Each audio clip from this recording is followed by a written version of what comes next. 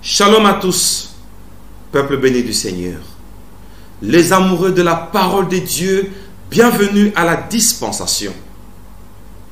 Le précédent message m'avait tellement touché et je voudrais qu'au nom de la dispensation précédente, que nous puissions encore entrer en profondeur, cette fois-ci avec un nouveau sujet à propos de trois réalités du ministère de Jésus-Christ. Nous avons un ministère aujourd'hui, mais sachons que notre Seigneur a aussi reçu un ministère et il nous l'a laissé. Et là, on dit, tout disciple accompli sera comme son maître.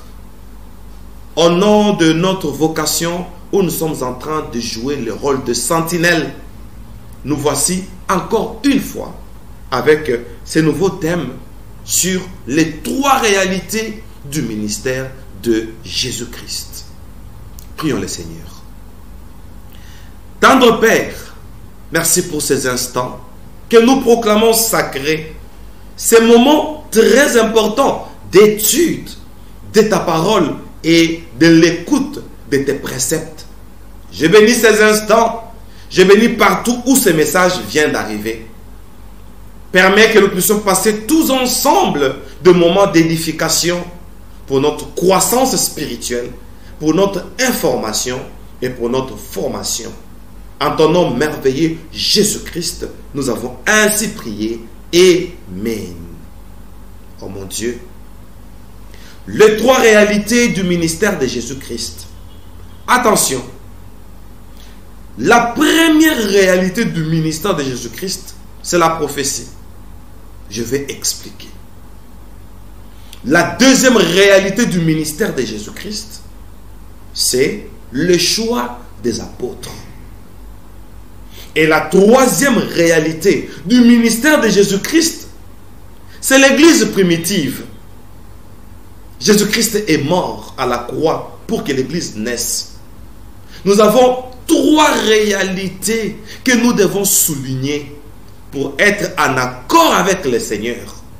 La prophétie, première réalité.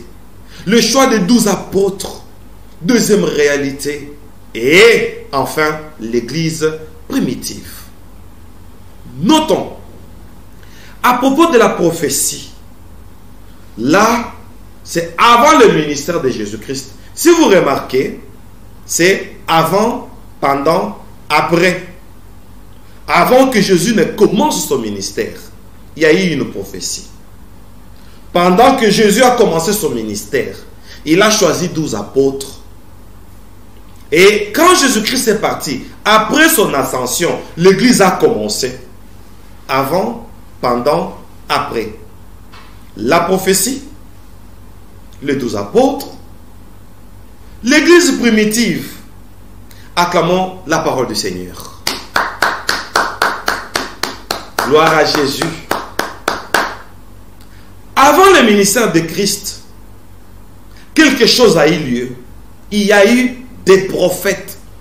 Vous savez, la Bible dit aspirer aux dons spirituels. Et l'apôtre Paul qui ajoute, il dit aspirer aux dons le meilleur, surtout à celui de la prophétie.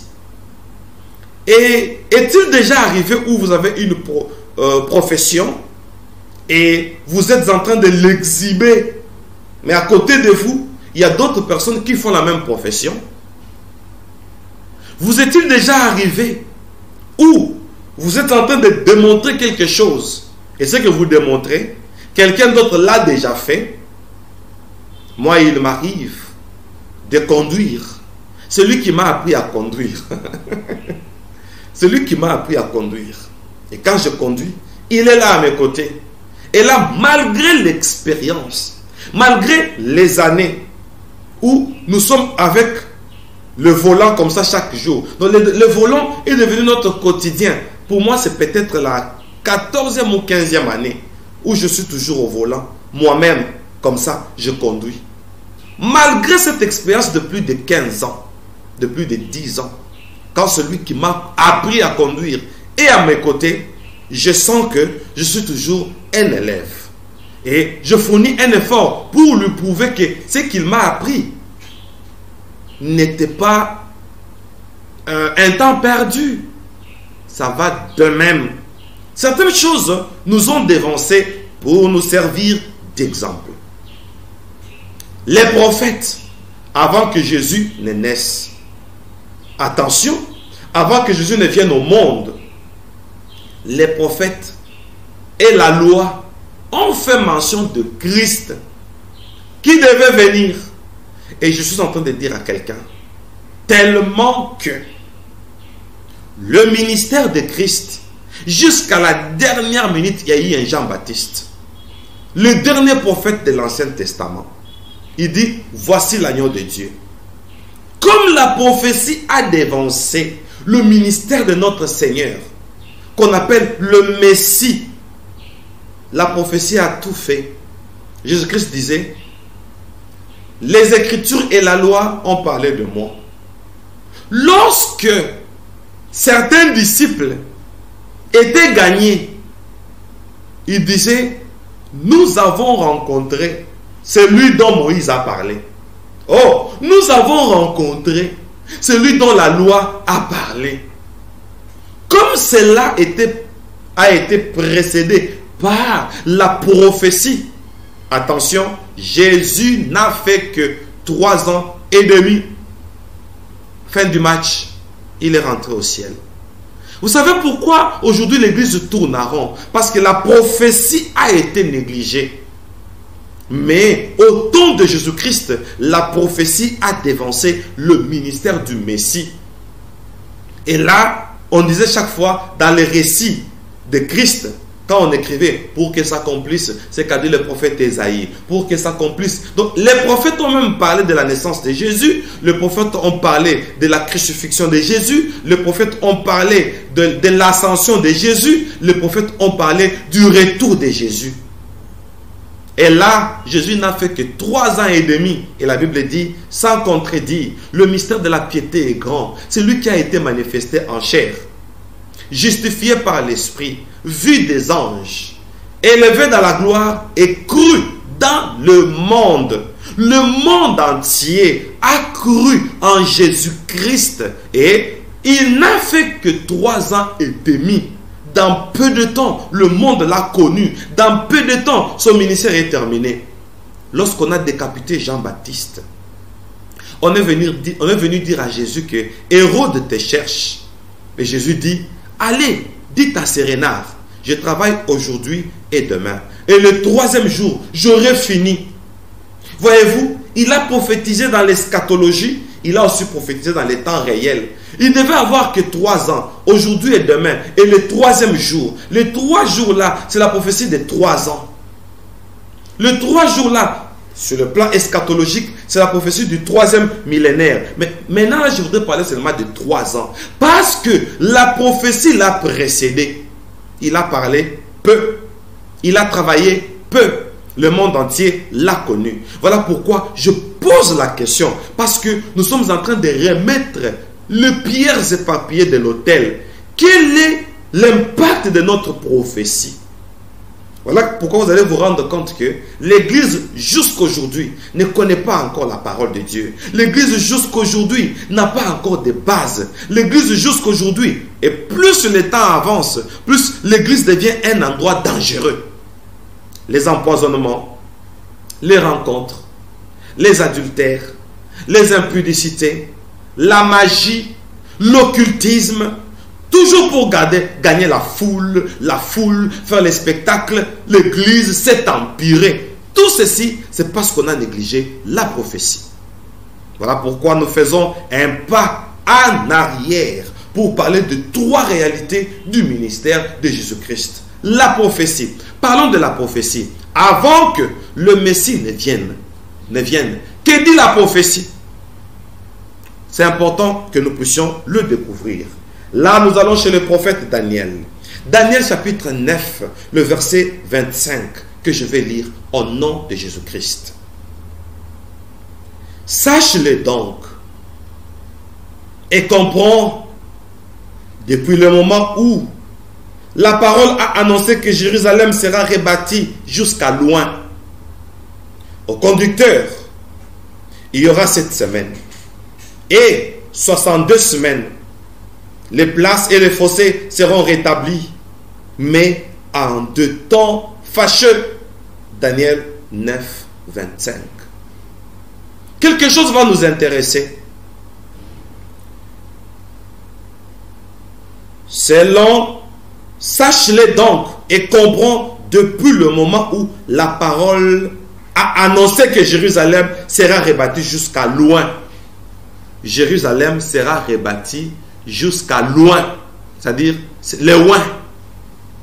Pour que le loin arrive, hmm, Daniel prophétise déjà, Jérusalem doit être rebâti. Donc, je suis en train de comprendre que il y a déjà deux rôles qui se font là. Parce que le Messie n'est pas encore venu, c'est ce qu'on appelle le loin. Loin n'est pas encore venu. Mais on doit rebâtir Jérusalem. Par qui Et loin va entrer à Jérusalem. Il sera arrêté à Jérusalem, malmené, flagellé, jusqu'à ce que on va l'arrêter et c'est à Jérusalem qu'on va écrire pour la condamnation du Seigneur. Et on va aller le crucifier pour qu'il meure et ressuscite afin que l'humanité trouve les saluts. Mais attention, attention, Jérusalem doit être rebâti pour que le roi vienne.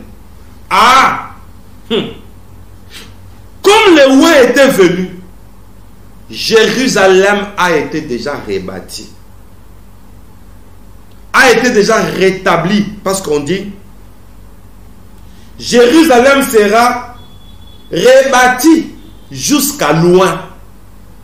Donc avant que le loin ne vienne, Jérusalem doit être rebâti. Avant que Jésus-Christ n'agisse, avant lui, le peuple qu'il doit sauver doit être déjà préparé. Vous savez, nous avons un peuple qui n'est pas préparé. Et là, quand Dieu veut sauver, le peuple là n'est pas préparé parce qu'on lui a dit, venez recevoir votre miracle, votre guérison. Le sourd entende, entendent, les aveugles voient, le boité marche. Ils sont venus pour ça. Ils ne sont pas rebâtis. Alors, c'est quoi rebâtir Jérusalem? Parce que si on ne rebâtit pas bien Jérusalem, on aura des problèmes avec Dieu. Qui vont rebâtir ça? Attention. Très cher bien-aimé, lorsque Jésus-Christ reviendra, comme Jérusalem sera déjà rebâti, je vais vous montrer ça, cher bien-aimé.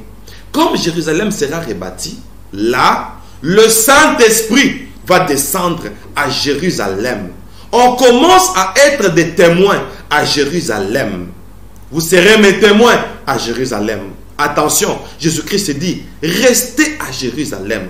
Vous recevrez une puissance. La puissance du Saint-Esprit, la puissance du réveil va commencer à Jérusalem.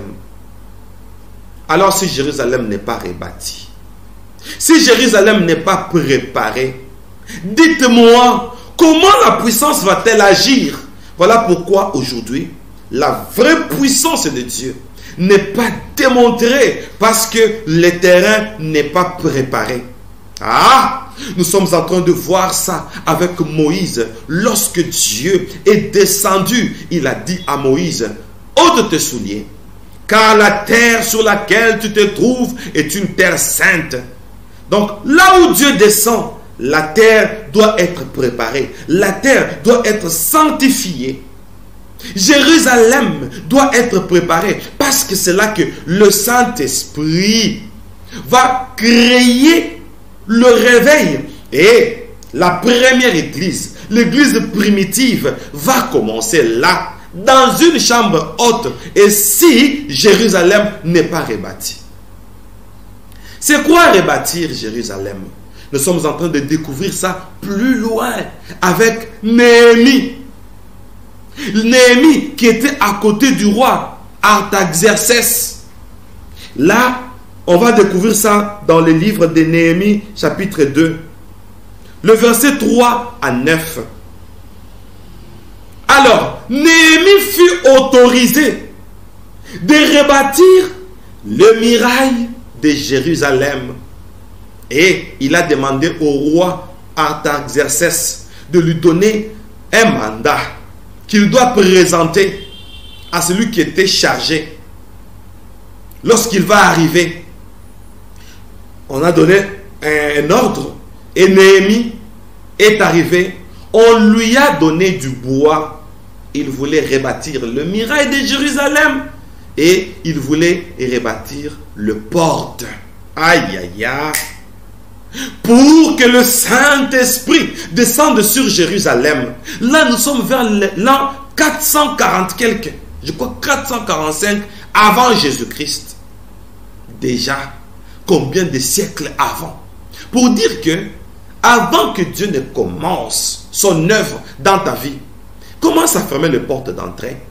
Avant que Dieu n'agisse commençons à montrer à nos fidèles que Jérusalem doit être rétablie.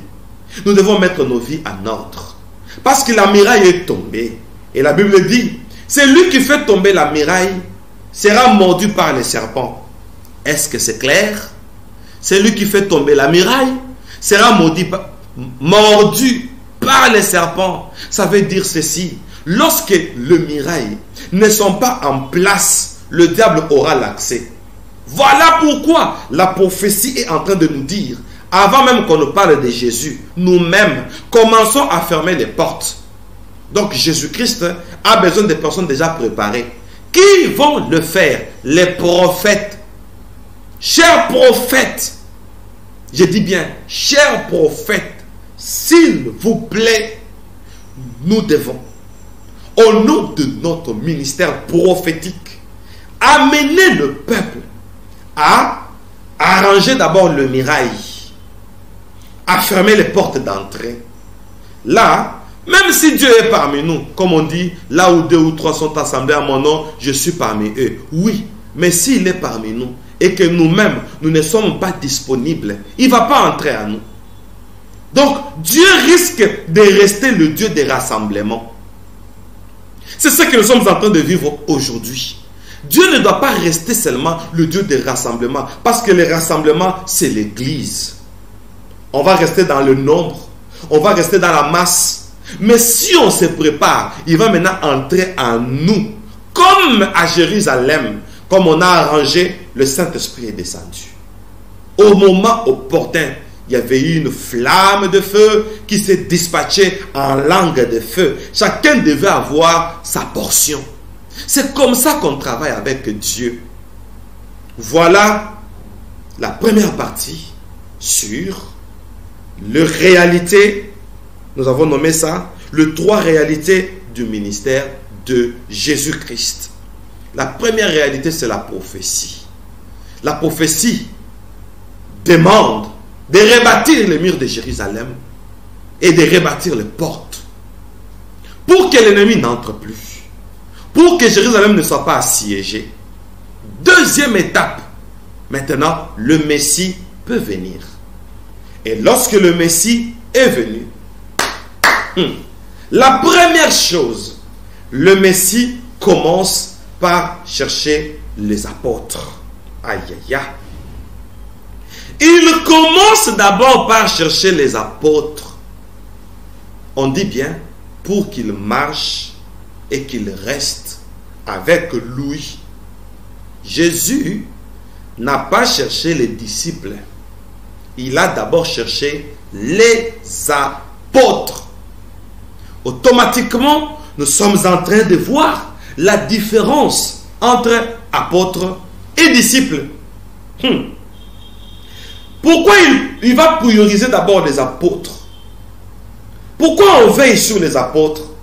Un trahi on les remplace par Matthias. Pourquoi, pourquoi, pourquoi? Qu'est-ce qui se passe? Ne vous êtes-vous jamais posé la question pourquoi il n'y a que 12 apôtres seulement? 12 seulement. Mais les disciples, Jésus dit, allez, là nous sommes dans Matthieu 28, verset 19. Faites de toutes les nations des disciples. On va lire ça. Mais pour les apôtres, ils sont seulement à 12. Mais pour les disciples, ils sont en nation. Toutes les nations. Les disciples sont en vrac. Mais les apôtres ne sont que 12. Là, c'est un accent. Ça, c'est un ordre. Là, c'est un impératif. Dans le ministère de Jésus, il y avait peu d'apôtres, beaucoup de disciples. Pourquoi aujourd'hui un prophète va parler Parce que nous allons recevoir la réponse. Le choix des apôtres, Matthieu chapitre 28, versets 18 à 20. Lisons Matthieu 28, 18 à 20. J'ai lu au nom de Jésus-Christ et on va ressortir quelque chose là-dessus. Jésus s'étant approché, l'air parla ainsi. Tout pouvoir m'a été donné dans les ciels et sur la terre. Donc il leur parle en commençant d'abord par dire que tel que je suis là, j'ai le pouvoir. Maintenant, avec son pouvoir, quelle est la démonstration qu'il va faire pour démontrer que tout pouvoir lui a été donné? C'est ça le problème. Vous savez ce qui nous tue? Nous voulons démontrer le pouvoir. Et nous le démontrons mal. Ici, Jésus est à Béthanie. Il veut monter au ciel. Il dit aux apôtres, avant de monter, tout pouvoir m'a été donné. Dans le ciel et sur la terre. Au verset 19. Allez, faites de toutes les nations des disciples, les baptisant au nom du Père, du Fils et du Saint-Esprit. Enseignez-leur à observer tout ce que je vous ai prescrit. Et voici, je suis avec vous tous les jours jusqu'à la fin du monde. Full stop. Mais tu as dit que tu as le pouvoir. Quel est ce pouvoir? Quand il s'agit de l'ascension Quand il s'agit de l'enlèvement La démonstration du pouvoir, c'est l'utiliser pour faire de toutes les nations des disciples. Donc Jésus est en train de... Attendez que je cherche le beau mot. D'investir. Le pouvoir là dans les apôtres, parce qu'ils sont douze, pour que les apôtres à leur tour, qu'ils ne fassent pas les apôtres, qu'ils fassent les disciples. Donc, la tâche est partagée. Jésus gagne les apôtres, les apôtres gagnent les disciples. Est-ce que c'est clair? Je parle en tant que prophète. Il dit tout pouvoir m'a été donné. Avant l'enlèvement, ça c'est la prophétie, nous devons utiliser un pouvoir. Le pouvoir qui a été donné dans les ciels et sur la terre.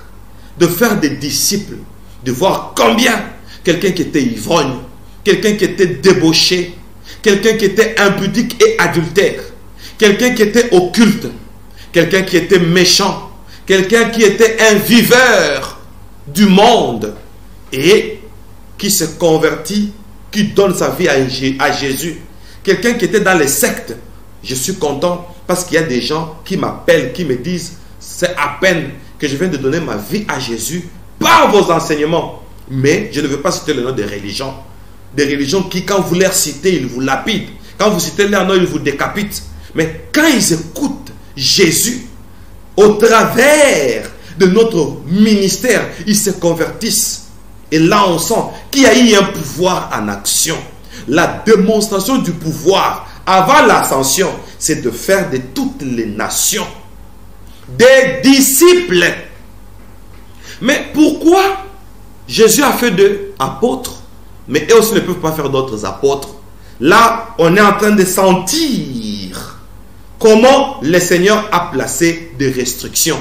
Le fait de dire apôtre, le fait de dire disciple, il y a déjà une restriction là-bas. Pourquoi Parce que apôtre, c'est un mot d'abord qui dérive du grec. Apôtre veut dire apostello. Apôtre, apostello. Or, apostello veut dire envoyé. Oh my God. Oh Lord. Apôtre veut dire apostellos. Apostello veut dire envoyé. Hmm. Tandis que disciple provient discipulus du latin. Discipulus. Or, discipulus veut dire élève. Hmm. Étudiant. Mais moi, ça commence à me faire peur. On sent la restriction. S'il faut qu'il y ait les envoyés, les apôtres, ils sont minimes. Ils sont douze. Alors, s'il faut qu'il y ait les élèves, oh mon Dieu, les étudiants, oh mon Dieu, là, c'est toutes les nations, comme on dit, faites de toutes les nations des disciples. Baptisez-les au nom du Père et du Fils et du Saint-Esprit. Je vais prévoir un enseignement sur ça. L'impact du baptême. Hein. On se dira des choses. On se dira des choses. Alors, très cher bien-aimés, revenons d'abord avant de continuer. Apostello. Apôtre veut dire envoyé. Discipulus, qui veut dire élève, étudiant, faites de toutes les nations des disciples. Le Seigneur a besoin que dans toutes les nations, qu'il y ait plus les élèves que les envoyés. Ici, quand je parle des envoyés, dans le cadre des apôtres, et quand on voit les apôtres, on voit les ministères apostoliques. Aïe, aïe, aïe. Les ministères apostoliques, ce sont les bâtisseurs des églises. Apostello. Apostello. Ce sont les bâtisseurs des églises. Ils doivent être minimes. Mais les élèves, les étudiants, c'est toutes les nations. Sachant la prolifération des églises. Ce n'est pas la volonté de Dieu. Regardez même au temps apocalyptique. Écrit à l'ange de l'église d'Éphèse. Écrit à l'ange de l'église de Laodicée. Éphèse, première église de l'Asie. Laodicée, septième église de l'Asie. Aujourd'hui, excusez-moi le langage, les églises se sont proliférées comme des chenilles. Aujourd'hui, chaque église a sa doctrine. Et il y a des endroits où les églises se suivent. Comme dans un marché, comme dans un endroit où il y a des pharmacies. Chacun a son nom. Chacun a son ministère. Chacun a sa liberté. Chacun fait ce qui lui semble bon. Mais Jésus a dit, on va remplacer X par sa valeur. Faites de toutes les nations des disciples. Remplaçons. L'idée de Jésus était, faites de toutes les nations les disciples. Disciples, excusez-moi. Faites de toutes les nations des disciples. C'est-à-dire, toutes les nations doivent devenir des élèves. Point barre. C'est-à-dire, le Seigneur veut que les gens apprennent. Comme preuve, il dit, allez, faites de toutes les nations des disciples, les baptisant au nom du Père, du Fils et du Saint-Esprit, et enseignez-leur. Pas ce sont des disciples, ce sont des élèves, ce sont des étudiants, ce sont les disciples. Enseignez-leur à observer tout ce que je vous ai prescrit. Aïe, aïe, aïe. Je, je ne voudrais pas dire maintenant ce que le Seigneur avait prescrit. C'est un autre enseignement. J'ai tout prévu. Attention. Peuple de Dieu, attention. Si on nous gagne, on nous gagne en tant que disciples. Si on nous gagne, attention avec les intentions. On est là, un disciple méchant. Il est là, il observe son maître pour que devienne, pour que demain, qu'il devienne aussi à la place du maître, pour que ça devienne une guerre. Je réponds, en comprimé maintenant, parce que je suis en train d'atterrir. ne vous êtes-vous pas posé une fois la question? Si pas, posons-la nous maintenant. La question de savoir pourquoi il y a peu d'apôtres, mais beaucoup de disciples. Les apôtres sont en nombre, mais les disciples sont en nation, nation avec S à la fin. Douze apôtres, mais des nations comme disciples. Là, le Seigneur a le souci que son peuple apprenne la parole de Dieu. Parce que, en apprenant la parole de Dieu, en recevant les prescriptions de Dieu, on reçoit Dieu. Parce que Dieu est dans sa parole. Parce que son nom s'appelle la parole de Dieu. On comprend. Ah, on remplace X par sa valeur. Si le Seigneur voulait qu'il y ait trop d'étudiants, qu'il y ait trop de disciples, pour que ces disciples hein, soient les élèves. Et en étant élève, on reçoit la parole. En, en recevant la parole, on reçoit Dieu automatiquement. En donnant la parole, on donne Dieu. En présentant la parole, on présente Dieu. C'est pourquoi l'apôtre Paul était jaloux du ministère. Il disait qu'il n'y ait pas parmi vous trop de prédicateurs. Parce que maintenant, on nous embrouille. Trop de prédicateurs. Moi, il y a des gens qui m'appellent, qui disent maintenant, ça commence à nous troubler. Parce que chaque prédicateur a sa tendance. Nombre de ministères, nombre de tendances. Et vous allez voir, un ministère et un autre une église et une autre, un pasteur et un autre. Moi, ça me choque. Ou quand un pasteur parle, on sait qu'il s'est adressé à tel.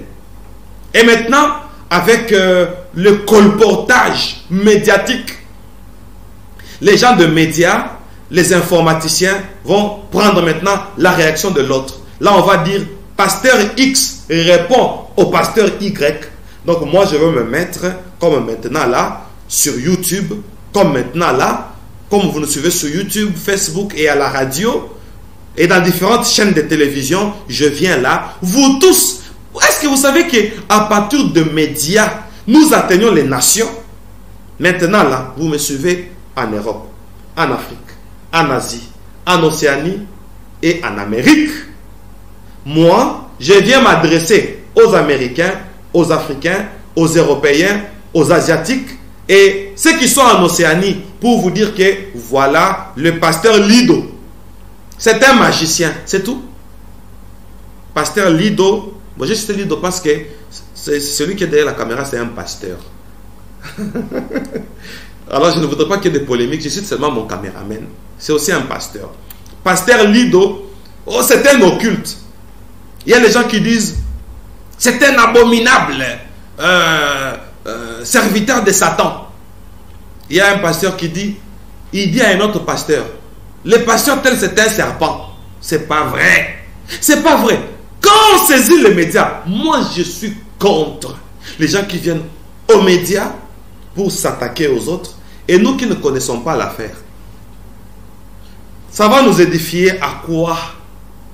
Faites de toutes les nations des disciples. Et on dit, Faites de toute nation des disciples, enseignez-leur à observer tout ce que je vous ai prescrit. Vous voyez pourquoi maintenant on veut que pour les disciples, que ce soit les nations, pour les apôtres, que ce soit seulement 12, pour qu'on ne nous embrouille pas.